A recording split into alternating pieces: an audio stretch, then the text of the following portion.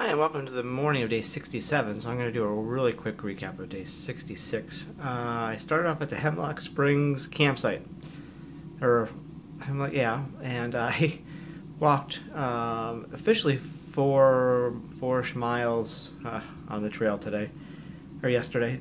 But I added an extra 1.2 miles going out to Anthony's nose and back uh, because it was just such a nice view.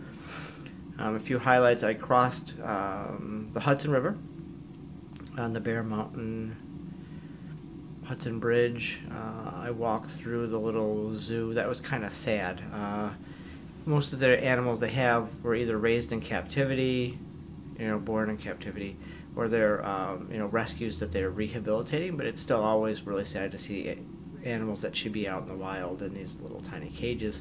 Especially the bears, they were just kind of sitting there panting in the heat there's really no shade. And I mean, really, if you think about it, uh, bears spend most of their time in the woods where it's a little bit cooler.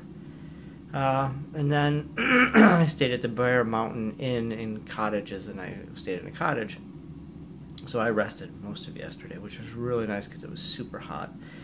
It, there is a 60% chance of rain today. Uh, looking outside, it looks pretty clear, so maybe I don't have to worry about that. Either way, it doesn't really matter.